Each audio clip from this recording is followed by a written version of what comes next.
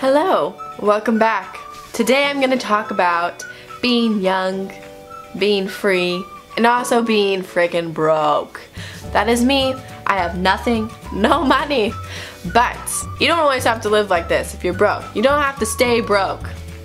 So, I'm going to show you one way that I save money in the places for me that are just the hardest freaking places to save money.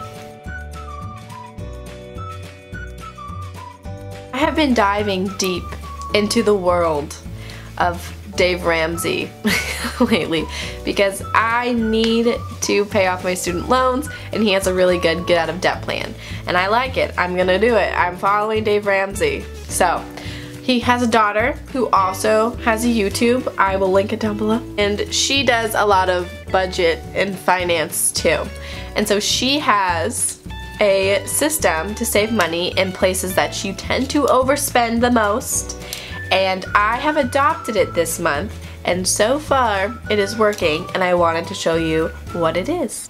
So Rachel's plan, her system, um, comes out of when you make a monthly budget, sometimes it is all up to you to stick to it. And there are places where your budget you might not always stick to. So this is a way to make it a little bit easier to do so. So she has a clip system, which is a lot like the envelope system.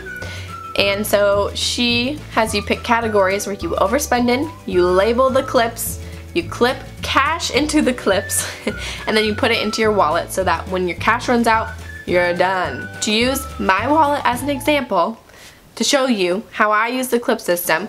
I didn't actually purchase her clip system. I would like her wallets. They're cute, but I have my own and I don't need a million wallets.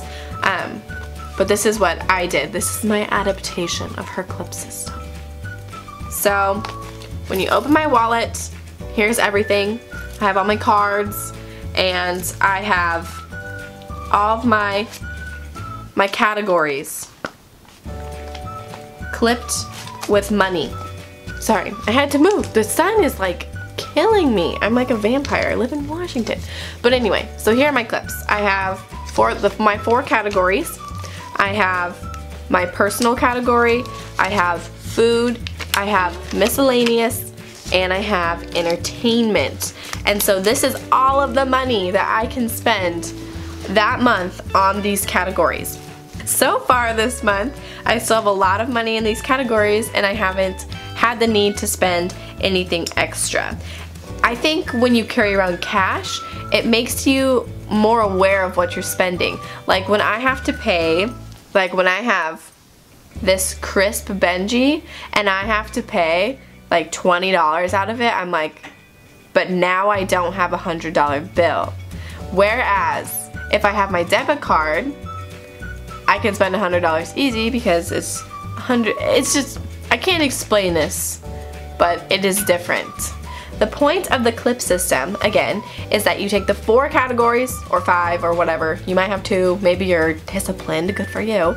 Um, for me, I have four categories that I overspend in. I put cash there so that I have a more tangible way to know that I am spending money. Because like last month I went way over in all these categories and so now I have my clips. But before you do the clip system you have to do a monthly budget. I have used Mint on my phone and it's alright and I am now using Every Dollar, which is the Dave Ramsey one which I personally like better. The pro to Mint is that it takes all of your debit card transactions and it puts them into your budget. The con is I just find the interface like hard to like really visualize. It just doesn't have what I want it to say there. I just want it to be a straight budget sheet and it just has advertisements and everything all mixed in. Every dollar is Dave Ramsey's. There's no advertisements or anything and it shows you how what percentage of your money goes to what. It has the same little circles as Mint. I just find it easier to use. You can buy like the plus version, it's like $9 a month or something, um, and it does the same thing as Mint where it takes your your um, your monies that you spend on your debit card and put it in there and you just drag it into your into your categories for budgets. Um, but I am finding that the normal version is totally sufficient. I just type in what I spend and I try not to spend a lot. So yeah, that is the clip system. I wish I could go on and on about it, but it's just basically a really simple principle. Just clip your money, label it, and if you want to save money and budget, then stick to it. So thank you for watching. I hope you found the clip system to be something worth listening to, worth your time. I don't know. Um, I I really do think that it's really great. And Rachel Cruze, she's really cool too. So check out her channel. Don't forget to subscribe to me um, if you want to see more budget videos, more debt paying off videos, more clip system, and did I say travel? Because travel is coming. And yeah, so have a great day and I will catch you later. Bye bye.